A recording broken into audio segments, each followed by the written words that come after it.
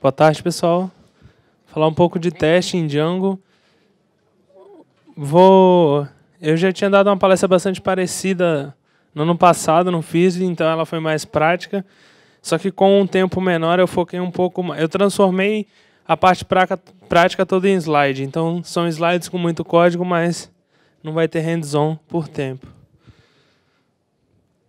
Meu nome é Francisco, eu não me apresentei. É, eu sou desenvolvedor na Globo.com. Lá na Globo.com, a Globo.com é uma grande usuária de Django, então na, lá eu trabalhei, eu mexi um pouco com Django antes e lá eu usei Django durante um ano, um ano e uns dois meses trabalhando no G1. A Globo.com usa Django em diversos outros projetos e algumas das coisas que vêm aqui, é, que estão nessa palestra, vêm dessa experiência da empresa e minha, embora tenha muita opinião minha na maioria das coisas que eu vou mostrar aqui. Então, se alguém quiser discutir, é melhor discutir depois, porque são, é pouco tempo, só vai dar tempo de eu mostrar a minha opinião. Se quiser conversar, discordar de algo. No físico, quando eu apresentei, deu, teve debate pelo Twitter, então vamos ver o que, que dá aqui. Também participei, sou um membro, eu digo, quase aposentado do Cobra Team. Faz bastante tempo que eu não, não contribuo com código. De vez em quando eu participo de alguma discussão em issue, mas com código mesmo faz um tempinho embora esteja envolvido em outros projetos open source. A motivação inicial dessa palestra, há um ano atrás, foi isso aqui. Você precisava como é que testava Django, aí você achava lá 85 posts de blog e algumas coisas na documentação oficial mostrando, ah, não, usa o client, faz um get e vê se respondeu 200. Ah, eu quero testar se deu erro. Usa um client, faz o get e vê se respondeu 500. E aí, aí começou a evoluir. Algumas pessoas pegam o body e checam se o tamanho do body é o que espera. Tá, beleza. Se o conteúdo não é o mesmo, mas tem o mesmo tamanho, que bonito. Mas melhorou muito, tá? Só para dar uma atualizada, a documentação do Django ficou muito boa. Tem livro, livro, webbook, né? Que o cara fez um site que é um livro que você vai navegando e vai lendo conteúdo. Melhorou bastante. Então eu dei uma atualizada na palestra é, com algumas novidades do, do Django. Isso aqui é um why, o desespero, porque testar status code. Então, focar um pouquinho em testes que fazem sentido. Se fizer sentido, se for importante para você checar que uma view está retornando 200, beleza. Mas não é todo teste de view que você vai checar que a view retorna 200. Bom, o que você quer testar? O que você deve testar? Em teoria, você deve testar tudo deve testar tudo. Você pode testar tudo, você deve testar tudo. É uma decisão sua. Nisso eu não vou dar minha opinião. Nessa medida do que testar, eu não vou dar minha opinião. Eu tento testar tudo que eu posso. E quando eu não sei testar, eu tento descobrir como testar. É, mas vale testar o sistema inteiro? Sim, vale testar o sistema inteiro. Mas vamos. Quais são as pequenas partes do seu sistema que você vai testar? Você vai escrever um teste que checa se uma funcionalidade está ok? É um estilo de teste. Você quer checar se todos os seus modos, sei lá, tem, tem métodos que se comportam como você espera, tem os fields que você espera. Você vai testar a sua view unitariamente ou é, integralmente. Você vai testar o comportamento completo da view ou vai encher de mock. Geralmente a view tem muitos colaboradores, é difícil testar uma view unitariamente. Ou você vai testar os forms. Tudo, todas essas camadas do Django são testáveis. Tem um template ainda. Mas só para conhecer vocês, quem aqui no dia a dia, que não importa se é com Django ou não, já escreve teste regularmente? Legal, legal. É, dessas pessoas, quem escreve regularmente com Django? Assim, quase todo mundo. Bom. Alguém já esbarrou nesse exemplo de status code? Eu acho que já teve, mas já teve problema, já desistiu por isso. Quem já tem, ah, quero descobrir como é que eu testo isso, começou o teste em Django, achou o exemplo do status code e, e aí deixou para depois o teste. Qual? Aham, sim. É, os alguns exemplos da documentação acabam sendo de testes em Python do que do Django, né? Então, ele testa se um método funciona, mas não dá a especificidade do, da camada das coisas do Django. Ah, como é que eu testo que algo foi cacheado pela, pelo controle de cache do Django. Não, ele testa lá se um método foi invocado e retornou o que você queria. Tem alguém aqui que nunca tentou? Ou... Legal, legal. É um, exemplinho mais básico. Então, tudo que eu vou mostrando vai ser baseado nessa vitrine, que é o que dá tempo. O ideal seria uma loja virtual, então vai ser uma vitrine virtual. O cliente decidiu que ele quer ter uma loja, não sabe se vale a pena pagar o desenvolvimento de uma loja, quer saber se os, se os clientes da loja dele têm interesse em comprar pela internet. Então, vou criar lá um, uma vitrine, se eles gostarem, se eles começarem a clicar em curtir, sei lá, e investe mais para criar um e-commerce mesmo. Beleza, como é que eu começo em Django? Ah, crio um projeto, entro no diretório lá e crio a app de, de vitrine.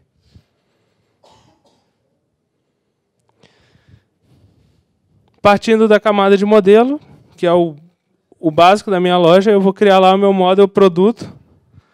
E antes de criar o model, a gente cria o teste. Mas no Django ele cria esse teste.py e antes de existir o, o, conceito de template de projeto, que ainda tem pouca gente que usa, mas o Django já tem esse conceito, você criava um projeto, criava sua app, você apagava o teste.py, criava um diretório e um init dentro desse diretório, transformava aquele módulo em pacote. Não sei nem porque eu botei como faz esse comando, enfim. Dentro, e aí a gente cria o teste models, que tem um, um teste bem bobo que só checa que o produto tem um, um campo chamado nome. Dentro de um model eu consigo pegar todos os fields. Uma forma mais interessante de fazer isso, para ter um, um, erro mais bonitinho, é dentro do meta chamar getFieldByName. Se o field não existir, o Django vai dizer, esse model não tem esse field. Se esse erro falhar aqui, num primeiro momento eu vou mostrar a mensagem de falha, mas ele vai dizer que nome não está dentro de uma lista que tem ID. Não é tão claro a falha. Uma forma mais inteligente é getFieldByName. Como é que eu rodo o teste? O Python Manage Test, até a versão 1.5x do Django, isso vai pegar, isso vai rodar um monte de teste ainda que você não tenha escrito nenhuma linha de código, porque ele roda de todas as apps instaladas, um modelo bem feio, com discovery ridículo, que todo tem que estar dentro do teste PY. mas no Django 6 ele já tem teste discovery bonitão, ele vai pegar lá arquivos que começam com teste ele vai seguir o padrão do Unit Test 2. Ele usa o Discovery do Unit Test 2. 1.6 já saiu a quarta versão beta. Em breve deve saber sair o release candidate. Quem ainda não, tá, não, pode, não, não usa 1.6, isso foi backported pelo James Slade, né, pelo GS10. Você pode instalar e mudar qual é o runner nos seus settings. Então, o que acontece quando eu rodo? Primeiro erro, não tem produto dentro de models. Passa rápido essa parte.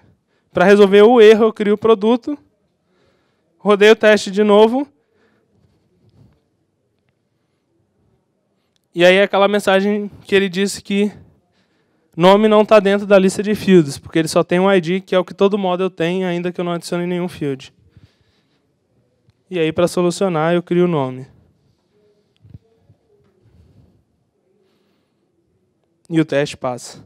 Vamos avançar. Né? O produto tem outros outros fields e tal, mas não é o meu objetivo ficar mostrando, ah, agora vamos adicionar outro field, vamos fazer outro teste igual. Não, não é o que eu quero. Beleza, o model está pronto. Avançamos um tempo, fizemos uma viagem. E como é que registra ele no admin? Antes de registrar, vamos adicionar um teste. E esse é um ponto que algumas pessoas não, não acham que não faz sentido testar se o model está registrado no admin sei lá, você pode estar com um cara que ele está aprendendo a usar o editor e sem querer ele apaga uma linha. Isso acontece. Ele deveria revisar antes de comitar. Revisar o diff antes de comitar. É. Sim, sim. Tem, tem algumas formas de registrar. Você pode tentar, em vez de usar o assert in, pegar, tentar pegar já. Às vezes, quando você registra com uma classe, você quer checar se ele foi registrado com uma instância do, de um model admin, você pode. É um dicionário isso aqui, né?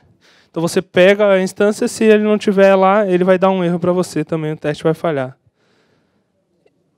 E Mas tentar registrar de novo é uma, uma forma mais, mais legal, porque você não acessa um atributo privado do admin. Só um detalhe aqui. Eu estou importando esse admin e não estou usando, nesse caso, para que ele registre. Uma alternativa é chamar o autodiscover do admin dentro do teste também, para que o Django rode e chame os registros e importe os admins. Se eu não importar esse cara, esse teste não vai falhar ainda que eu é, o teste vai falhar ainda que eu registre o model. E aqui, com o registro model no admin, e eu poderia criar meu model no futuro seria criar um model admin, mas outra viagem no tempo aqui. Essa é a parte mais bobinha. Vamos deixar as coisas mais interessantes. Digamos que a gente botou a vitrine no ar, os clientes da loja estão comentando pelo, dos produtos por aí, o cara percebeu que de repente rola um interesse, mas ele decidiu fazer uma coisa louca, sei lá. Se o cliente quiser falar com ele, ele quiser comprar, ele manda um, um e-mail pelo formulário de contato e aí a loja entra em contato depois com o maluco, se para definir os detalhes da venda. Então a gente tem que criar essa página de contato. Só que vamos fazer isso de fora para dentro. Da, da, da interface que o usuário acessa para dentro do sistema e, à medida que a gente vai descendo, a gente vai adicionando novos testes. Então a gente começa com um teste de aceitação que vai rodar dentro, em cima do browser mesmo. O cara vai preencher o formulário, vai clicar para submeter, o teste vai checar que o e-mail foi enviado. Desde o Django 1.4, fazer isso ficou mais fácil, porque se você criar um seu test case herdando do live server test case, automaticamente ele vai subir o servidor do Django e você vai conseguir acessar esse cara. Ele vai subir no setup class e matar ele no teardown class. E para acessar o, pelo browser o Splinter, quantas pessoas conhecem o Splinter? O Splinter basicamente você importa, cria instância de browser dizendo qual driver você quer usar, e nesse caso seria o Firefox, e acesso uma página que eu quiser acessar usando o visit. E aqui é o meu teste. Então, como, eu, como ele sobe o servidor no setup class, no teardown class, e eu estou criando a instância do browser aqui, eu tenho que chamar o super, senão ele não vai subir o servidor.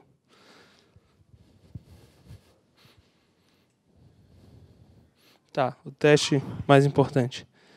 Aqui é o teste, então ele tem meio que o passo a passo do que o usuário vai fazer.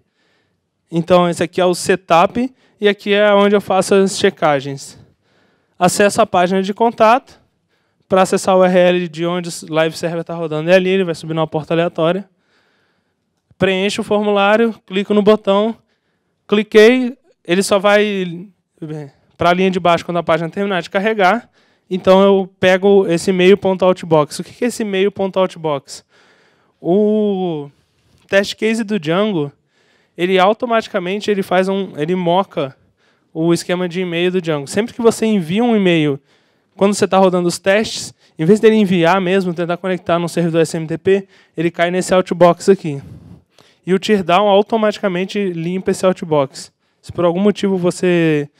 Se não me engano, é o setup que limpa. Se por algum motivo você sobrescreveu o setup ou o teardown, você vai ter que chamar o super ou limpar na mão o outbox.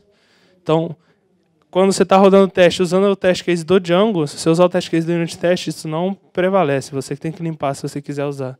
Na verdade, você tem que fazer o replace.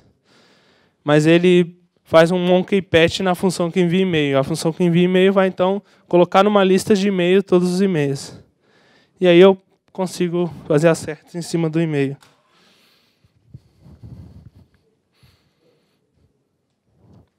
Agora vamos fazer esse teste passar, parte a parte, linha por linha. O que, que eu preciso para esse cara funcionar? Eu vou acessar uma página barra contato quem é que vai responder por contato. Então, eu vou checar ali, quando eu acessar barra contato, ele vai cair na view de contato. É uma class-based view, então eu consigo fazer essa uma comparação. Eu não consigo comparar o funcode, então está bem feio esse assert. Na verdade, estou checando se as duas funções têm o mesmo nome, mas já é um pequeno caminho. É, eu chamo o SView para pegar a função, e aqui eu pego eu chamo o resolve do Django para pegar qual é a função para onde esse seria o request seria despachado.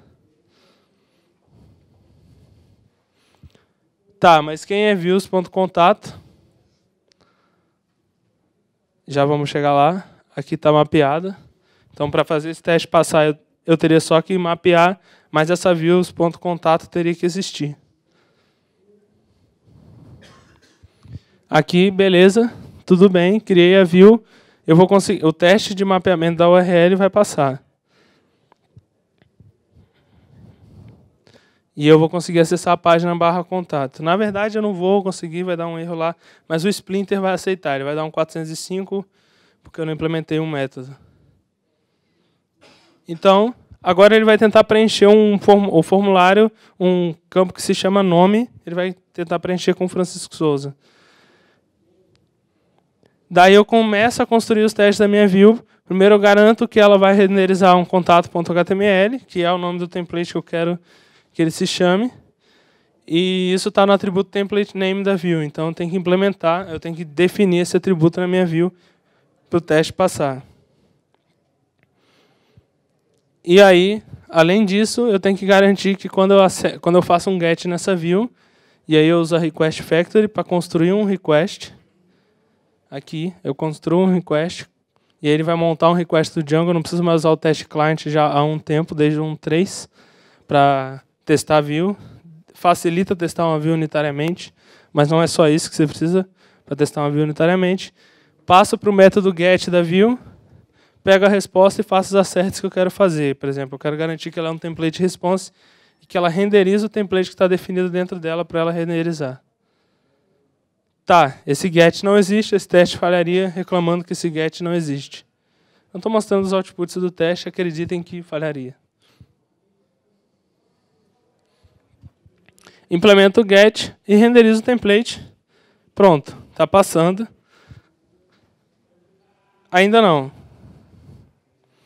Porque ainda não está mostrando o template no o formulário dentro do template e ainda não está passando uma instância do formulário para o template. Então aqui eu checo que no contexto da resposta o formulário está lá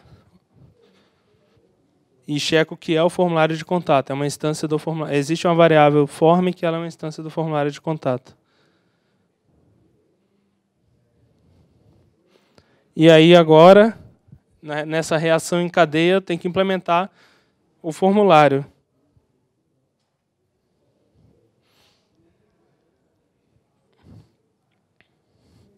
Como é que eu implemento o formulário? Simples. Eu crio o teste, checo se ele tem um campo, se ele tem um campo nome e que o tamanho do campo é 255.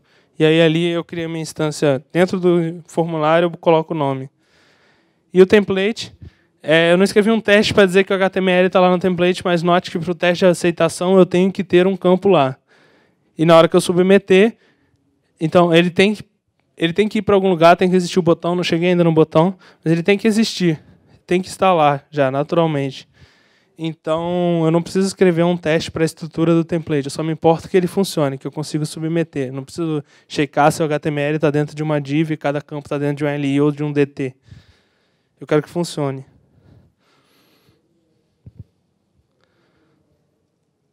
Vamos pegar esses três caras de uma vez aqui, que é adicionar, como eu já estou renderizando o formulário inteiro, eu adiciono dois campos no formulário e adiciono o, o botão no template. Vamos Esse teste aqui não tem nada demais. Poderia ser conjugado para um teste só. É, quer dizer, dois testes, né? cada campo com um teste só. É sempre uma discussão, ah, eu não posso ter mais de um assert num teste. Não faz tanto sentido. O ideal é sempre você trabalhar em cima de um objeto só por, por teste, não, não conte os asserts, conte os objetos. Uma dica. Às vezes você quer fazer assert em 80 campos de um objeto, você pode. O teste geralmente está confuso quando você está lidando com mais de um objeto no mesmo teste. Mas não conta acerte, ah, eu olho para um teste, tem quatro acertes, pô, está mais mal escrito. Lê o teste, vê em, em que, que são aqueles acertes. Então, tranquilamente poderia conjugar. Na verdade, poderia apagar esse cara aqui, porque se o field não existir, ele já vai falhar nessa linha, esse teste. E caso exista e não seja um text error, ele vai falhar embaixo. Para passar, adiciono os fields lá no contato. E o button eu teria que adicionar no template que eu omiti aqui. Beleza, agora eu tenho que fazer o envio de e-mail. Eu estou renderizando, mas eu não estou fazendo nada com, com os dados quando o cara clica no botão. Na verdade, está dando erro também. Dá um método not allowed lá no, na view, porque eu não tenho um método post na minha class based views. Mas quem é que deve enviar os e-mails? A view deve ter um método que vai receber. Na, eu pego o post, pego os dados, envio, ou está no formulário, eu crio um terceiro componente que vai enviar esse e-mail. Alguém tem alguma sugestão? Já está implementado, não dá para. Legal. É, muita gente defende, no Django eu concordo com isso, que as views têm que fazer o mínimo possível. Antes era muito fácil isso, porque a view era uma função, você olhava para ela, era grande, você percebia que ela estava fazendo muito. Agora a gente tem class-based view, você tem uma, uma, hierarquia de classes, se você não percebe, às vezes, que sua view está fazendo muita coisa, ou você distribui em métodos, você tem métodos pequenininhos, você acha que sua view está legal. Mas às vezes você tem 20 métodos numa view. Uma view, ela recebe request e retorna e trata esse request e tem que dar uma resposta para ele, que pode ser um template renderizado, um JSON. Ela precisa de colaboradores para fazer as outras coisas, model para acessar o banco de dados, é, sei lá, um componentezinho que envia e-mail para enviar e-mails ou o próprio form. Nesse caso, é como a gente está tratando de dados do formulário, é tranquilo que o formulário envie. Mas se você quiser ter uma separação não, bonitinha de responsabilidade, eu recomendaria ainda ter um terceiro cara que só envie e-mail. Mas nesse caso, vamos fazer dentro do formulário. E vamos testar unitariamente. Então, para isso, eu vou. Por mais que o Django faça um replace na, funda, na função de e-mail que guarde no mailbox, eu não preciso checar isso aqui agora. Então, posso mocar a função de e-mail e só checar se ela foi chamada com os parâmetros que eu espero porque a view já está validando que o funcionamento completo dela. E o Django que garante que ele vai enviar, comunicar com o servidor SMTP de verdade. Isso eu não preciso garantir. Aqui eu crio a instância do formulário, chamo o método enviar e-mail e o que, que o enviar e-mail tem que fazer? Nada mais, nada menos do que chamar o send e-mail. Então, usando o mock, que parece que vai virar, vai entrar a biblioteca padrão, eu posso fazer o patch, ele vira um parâmetro para o meu e-mail. Se eu quiser dizer um para o meu teste, desculpa, eu posso é, especificar o que, ele vai retornar no final, é, definindo o atributo return value nele, ou como ele vai se comportar, se ele vai ter um, se ele vai levantar uma exceção. E aí eu posso fazer um assert nele dizendo, ele foi chamado com esses parâmetros aqui.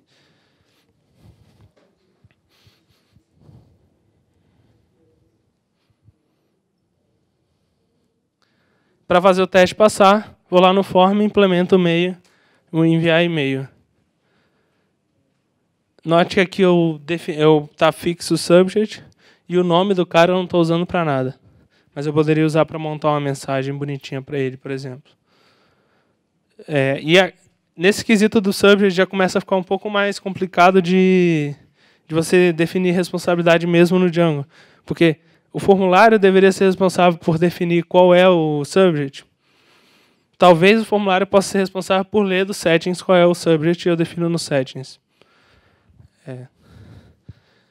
Depende do quão pragmático você quer ou quão by the book, quão Martin Fowler você quer ser. E esse modelo de. Nesse ponto aqui, o teste de aceitação está passando. Porque eu fui fazendo. Eu criei esse teste de aceitação e esse é um modelo chamado de ATDD, Acceptance Test Driven Development. Eu crio um teste de aceitação e enquanto ele não estiver passando, eu vou um teste de aceitação geralmente ele é maior, é um pouquinho mais complexo realmente. E eu vou ele não vai estar passando e eu vou adicionar novos testes para fazer as coisas que testes unitários geralmente, por mais embaixo nas camadas que são necessárias para o teste de aceitação passar. E eu vou subindo, na verdade eu vou descendo, e essa descida é com testes até a camada lá de baixo passar. E quando todos os meus testes estão passando, aqui é um ciclo normal de TDD, o ciclo de dentro é um ciclo normal de TDD. Fiz um teste, passou, refatório, rodo o teste de aceitação.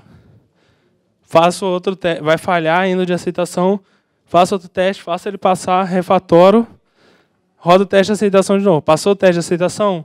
Volto lá, escrevo outro teste de aceitação que falha.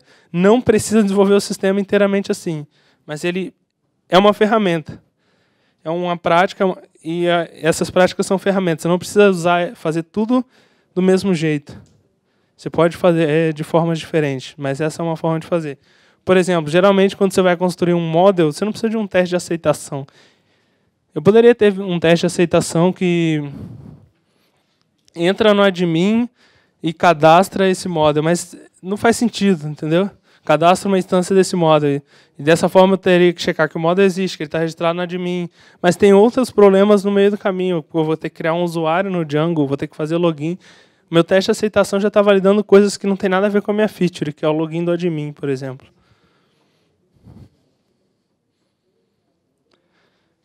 Uma observação: os testes é, de browser são bem lentos. Nem todos os testes de view você vai querer testar pelo browser. E o ideal é que você deixe, deixe no browser os testes de aceitação para validar e não escreve tudo, tudo, não escreve teste de aceitação para tudo, mas para validar para momentos importantes, porque senão o teste de aceitação vai virar algo que você nunca roda, porque ele demora muito. É, tente deixar sempre o que só funciona no browser, que você só consegue testar no browser. Por exemplo, você quer testar é, o Ajax, mas não testar o seu JavaScript, você consegue testar o JavaScript unitariamente, mas testar o JavaScript e a sua aplicação junto, a integração dos dois, você precisa de um browser para isso, que é, onde, é o ambiente onde roda. E nesse exemplo a gente não testou a gente não testou o que acontece depois que o cara envia e-mail. A gente não testou se redireciona para alguma página ou algo do tipo. E não testamos a validação. Foi só um exemplo bem, bem básico para passar por algumas, algumas funcionalidades, algum, alguns recursos do Django e algumas técnicas que a gente consegue usar. E um outro ponto é, não, se você quiser testar essas coisas, você não precisa de, de teste de aceitação para isso. Né? Não vai escrever um teste de aceitação para checar que o usuário é redirecionado ou para checar que os dados inválidos são exibidos na tela. E aqui é um exemplo do mesmo teste usando um, um modelo mais, mais unitário um pouco. Que esse código não está legal. Eu esqueci de atualizar o código. Mas esquece essa parte desse mock aqui, que eu mudei esse código e esqueci de atualizar na palestra. É... Eu não, não, não acesso mais o browser, eu simplesmente envio, eu invoco a, o post direto, criando request com os dados, invoco o post direto, e aqui imagina que é aquela checagem se o e-mail foi enviado. É simples assim, eu não precisava do browser para isso. Mas existem casos sim onde eu vou precisar do browser. Um exemplo seria que se o meu envio de e-mail fosse Ajax, eu poderia esperar. Então no Splinter também ele não ficaria bloqueado depois que eu cliquei no botão. Eu posso esperar um, por um evento, cliquei no botão, espero um evento que confirma que o e-mail foi enviado, e aí eu checo se o e-mail foi enviado pelo Django mesmo. A vitrine deu certo, blá blá blá, contar, contando história. E aí seria o próximo passo, seria brincadeira de comércio eletrônico. Não dá tempo. É, fazer a propaganda de sempre. Temos vagas na Globo.com para trabalhar. É, esse é o slide um pouquinho adaptado. Ali alguns dos produtos da gente que usam Python, tem outros. Acho que talvez esse seja o mais expressivo. São construídos inteiramente em Python e JavaScript. Né? Mas a parte de servidor usa Python. E tem esse lema, esse lema aqui que a gente carrega em todos os eventos, que é trabalhar com Python, é usar Python para construir produtos que são usados por 45 milhões de pessoas todos os dias. Talvez esse número esteja desatualizado, mas é um número que cresce. Realmente ficou bem corrido e um pouco chato sem a parte do hands-on, mas se a gente quiser, quem quiser bater um papo lá fora, a gente considerar ou quiser discordar de algo que eu falei, a gente tem tempo para discordar aqui, mas se quiser levar o debate mais a fundo lá fora, a gente discorda mais. Meio meio está aí E provavelmente eu vou twittar o link desses slides aqui no arroba Francisco Souza lá no Twitter. Não precisa seguir não, só clicou lá, clica no link, mas se quiser seguir, tá, tá digno. É, obrigado, se alguém tiver alguma dúvida. Alguém?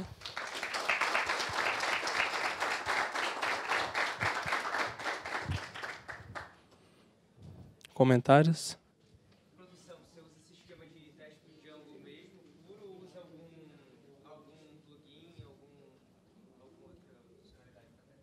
Até o Django, até o Django 1.5 é muito comum as pessoas usarem alguma coisa para fazer discovery. O Nose é bastante usado. Tem gente que não gosta desse, desse modelo. A gente usa, eu acho que a maioria da galera usa o Nose, sim, como runner. Mas tem gente que curte usar o PyTest, por exemplo, que ele permite um modelo de teste diferente. Você não precisa usar esse modelo baseado em XUnit. Mas, no geral, até um 5, o Nose tinha uma grande presença e com o 6 eu acho que ele vai perder um pouco desse espaço, a menos que você use os plugins dele, que é, sei lá, Coverage e afins.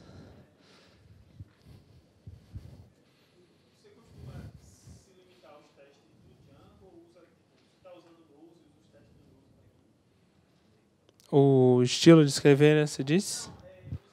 Os asserts. Geralmente eu uso do Django mesmo, mas tem gente que. É porque o Nose adicionam aqueles acertos que não são no estilo. Não são, não são camel case, eles são snake case. É, eu costumo usar os do Django mesmo. Pra, o ideal é que eu use o Nose só como runner, porque quando eu atualizar para o Django 1.6, eu só preciso trocar o runner, eu não preciso alterar todos os meus testes, por exemplo.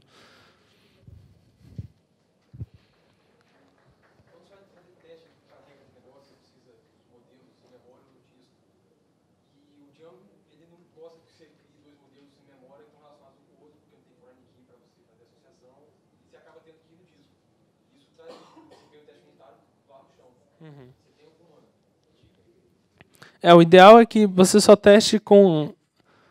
Quando você separa bem as responsabilidades, você acaba só que os testes de modelo e os testes de integração toquem o banco de dados.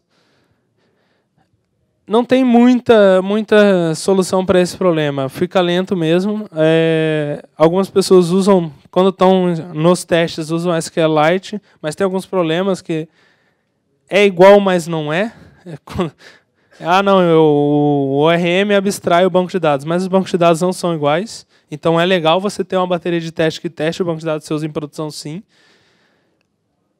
E existem. O ideal é que você escreva o mínimo de teste possível que dependa do banco de dados.